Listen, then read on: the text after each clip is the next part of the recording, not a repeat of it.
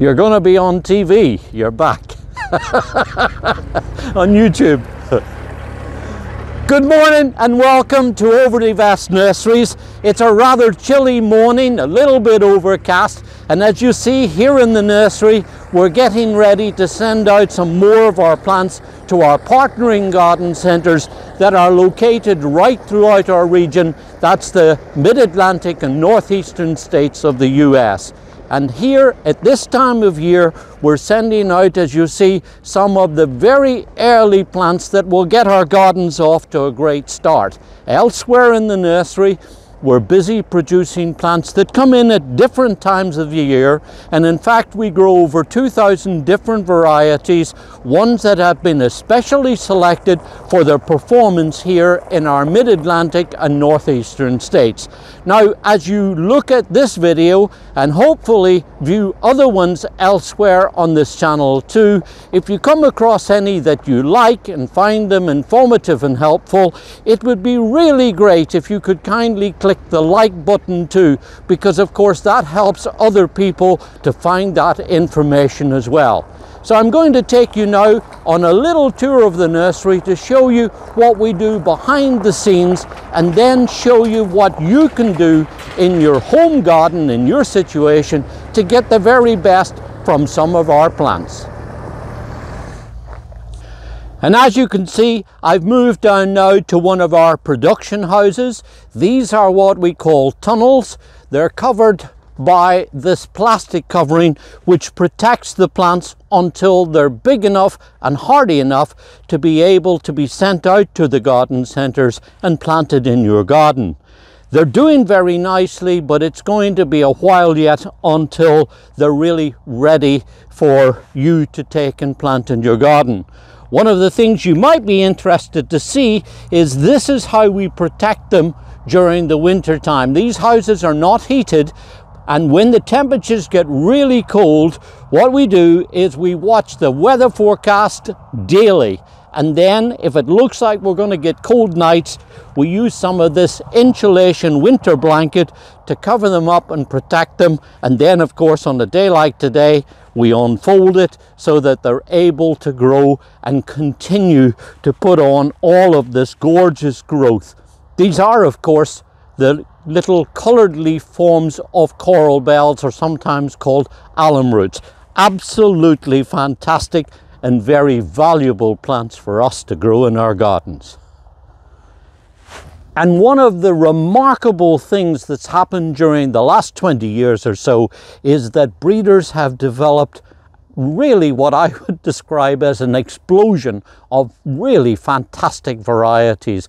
Varieties that take us through a very wide range of foliage colour. Foliage colour that lasts in the garden regardless of what the weather conditions are. They also have developed ones now with beautiful little dainty flowers and what's really truly remarkable is they've been able to combine all of that gorgeous foliage color with ones that flower well too and so that we're getting the best of both worlds. They are so valuable and there's many different varieties and probably more coming and part of our job really here is to trial and test them and to find out the best performers for this region. And right here is one of my favorite varieties. This is Heuchera caramel, a variety that turned up as a chance seedling in northern France in 2003. This is what I would describe as a good doer. It does very well in the landscape. It's nice and vigorous and easy to grow and a really good reliable variety that goes through a series of changes with its foliage during the year. Now, it's going to be a little while until these plants are ready to send out. We're going to space them. We'll then ventilate these tunnels. We'll take the plastic off. We'll harden them off. And then you can look forward to seeing these and lots of other really good varieties in your garden centre. But if you then get to plant and enjoy these in your gardens, there's a couple of things I want to show you that you might want to try out at home to get the very best from them. Now I'm a big proponent of using them in planters, in window boxes, pots, decorative pots, basically anywhere we are able to use that gorgeous, long-lasting foliage. They stand up very well to fluctuating temperatures and give such a valuable, long-lasting display. I also find out to my surprise that the foliage lasts very well when you use them in floral arrangements too. And if you haven't used any yet, snip off a few leaves, put them in a vase of water and watch them. You'll be amazed how long the foliage will last. Literally for seven or eight or maybe more weeks, you'll change the water, put in the leaves, change the water, put in the leaves, put in other things, and you'll find that the foliage is still going strong after all of that length of time. But of course, it's outdoors here in the garden that we primarily grow them.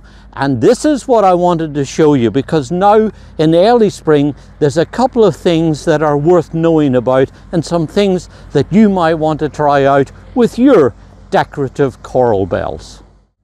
Now, I hasten to add that this is the worst possible time to show you the plants. They've been out here all winter, buffeted by the winter weather, and they're not looking really representative of what they would look like in your garden at certainly at other times of the year. And if you take a few minutes and scroll through elsewhere on this channel, the videos that are on there, you'll see the plants when they're really looking like they should be. And also, of course, if you visit some of the garden centers, you'll be able to see all of the plants there. But this is a good time of year to show you what you can do with your plants when you have them in the garden. And this is the variety that I was showing you earlier this is Heuchera caramel. As you see, it's got all of this crispy foliage on it now at this time of year. So what you can do is to just go through with your pruners and remove this old foliage because inside the crown, when you get in here now, you'll see that it's busy producing new fresh growth and that's what we want to try and encourage. So you just go through with pruners or a knife and just remove these old leaves, the old flower heads, and just basically clean up the clump a little bit. That'll help to freshen it up and make it look nicer, but also you can get it going so that it'll produce some nice young fresh growth in a couple of weeks and of course be much prettier than it's looking now. And then once you remove all of the old leaves back to the crown, just rake up any of the remaining foliage that's there. That not only just helps to make the place where you have them a little prettier, but it also removes any possibility of overwintering disease spores that might be on the foliage. Now, one of the great things about coral bells is that really they're not really affected by too many diseases, perhaps a little bit of mildew from time to time, and by removing the old foliage like this, you're starting off nice and clean. And then at this time of year, just as the growth's beginning, if you like, you can put down a little bit of a well-balanced slow release fertilizer. Now if you've watched any of our videos before you'll hear me talk about putting on a handful or so around the perimeter of the plant. One of the things I find about coral bells is they don't really need a whole lot of nutrition because if you've got the ground conditions right for them, they get plenty of nourishment out of it. So instead of putting on a handful, what I do is put on about a hand, about half a handful, just shake that around the perimeter. So a light dressing of fertilizer. Follow the descriptions and the directions on your packet and probably put on about half of that rate to get them off. And then of course with a rake, just key it in lightly around the soil and that's all you really need to do. Except there's one other thing that's important that I want to show you. And that is that to keep them going, they really ought to be divided about every two to three years. And that's not that hard to do, but I'm going to show you how to divide your coral bells. Because you see, one of the things about coral bells, and indeed other perennials too, is that if they're growing in the same spot for a long time, they can tend to get congested in and around the crown. The center part begins to deteriorate and the perimeter of the plant tends to remain to be vigorous. So once you dig them up and split them or divide them as we call it, you're invigorating the clump and that's what we're going to do now. But first, I see something here that needs some attention that's worth pointing out. Do you see on this, this is a variegated willow tree and you'll see here that we have a sucker coming up from the root and also one here on the stem. This particular plant has been grafted up here at the top. So this is the variety, but down here is really just a wild green willow. So if you excuse me for a minute, I want to take care of that and also show you how to do it if this happens to your garden. So here's the rootstock coming out. It's very important to remove this down at the base of the plant. So what we're going to do is with a shovel here is get in at the bottom of it and push down and sever it and there you take it out so that as you see I've now removed that and also there's another one round here coming out from the stem and this is what you do with it. With a pruner you get in and you remove that as close as you can to the stem. Just cut it off like that and now instead of having green willow growing like this this variety will grow out. So, so excuse the interruption but like a lot of things in gardening, when you see it and it needs doing, you do it there and then, and then you'll be able to not forget about it and attend to things when you need to be when they need to be attended to. Now, first thing to do if you're going to divide your coral bells is I like to rake back the mulch here and that you can do just raking it back so that you're able to get in and see the base of the clump. So I'm just raking it back as you see. And then once you have it raked back and you're able to see the extent of the clump like so, then with a spade or a shovel, you just go around the perimeter of the plant, just go around severing any roots that are around the side.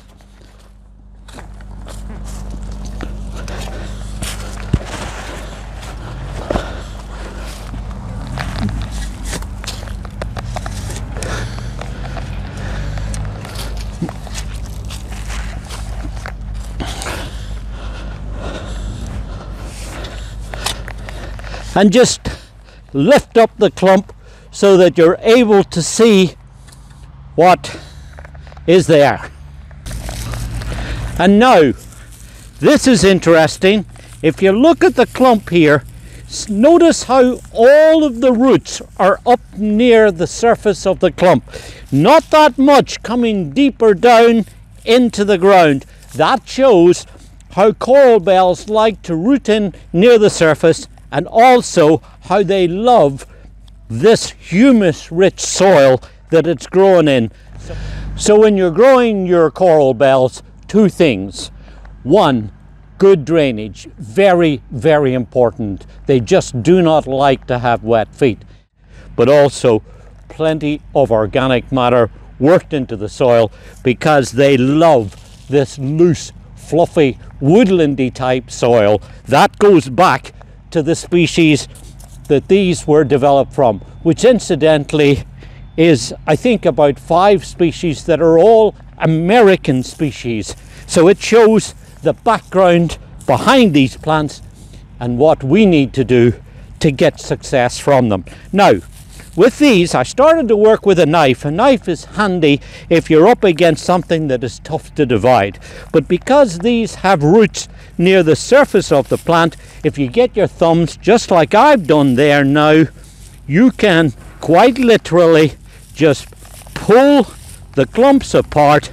I'm going to split this into about four different parts, just moving them out. And look here, remember I was telling you about how the center of the crown deteriorates. Look at the center here. This is an old woody part of it. This was part probably of the original plant when it was young. It's now old and woody and lost vigor, whereas all of the vigorous parts of the plant are out here on the perimeter. And that's why you dig them up and divide them because then you keep your plants nice and vigorous and strong growing. And of course, as well as having extra plants, you also help to keep them longer lived. That's why it's important that you do this. And now in early spring is an excellent time to do it too. So now that we have four nice big strong healthy clumps let me show you what you do to replant them back into the position or if you want of course you could start in another part of the garden but I'm going to put them in here because that'll help to thicken up and give a nice carpet with lots of attractive foliage. And to replant each one, dig a good generous sized hole. Excavate the soil. Make sure that you dig down deep if there's a pan or hard layer underneath the ground break it up in the bottom I'm digging this hole now probably about a foot or maybe 15 inches or so wide by probably about the same depth. And then break it up, as I say, in the bottom so that there's a good drainage layer there so that water won't lie in the bottom of the hole.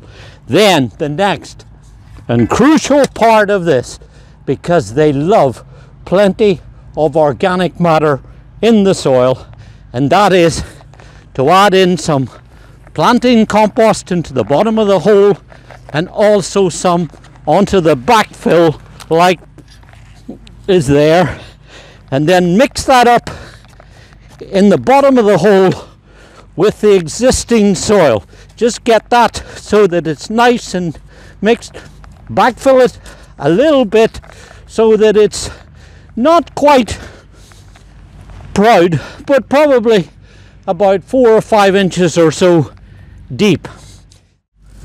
And then with your newly divided clump, place it in the base of the hole and then backfill the existing soil and the compost and mix that in with it.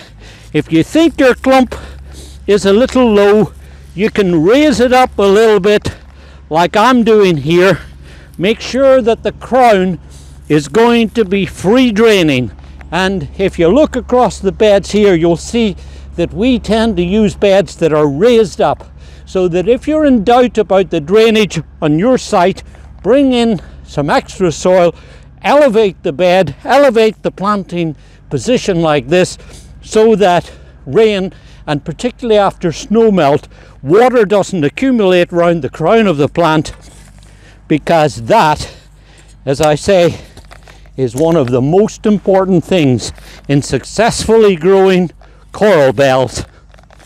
And that's good drainage and plenty of organic matter. So just backfill that around the crown like I'm doing there. Just gently firm around the sides of it so that the soil is in contact with the roots and then the last thing to do is to give them a good drink of water. Putting on the water at this time of year will help to get the little soil particles in closer contact with the roots.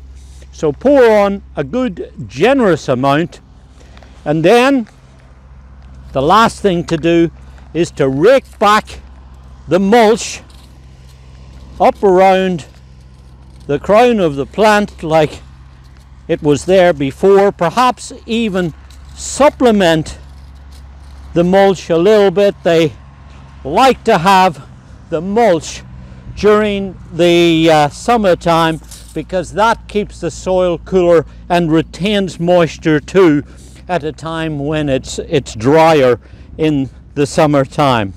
Now you'll notice that I didn't really use any fertilizer when I planted it. That's because I don't think that they need a whole lot of extra nutrient. You see, when you use the organic matter, as it begins to break down, it releases, releases nutrient. So I think they get all they need.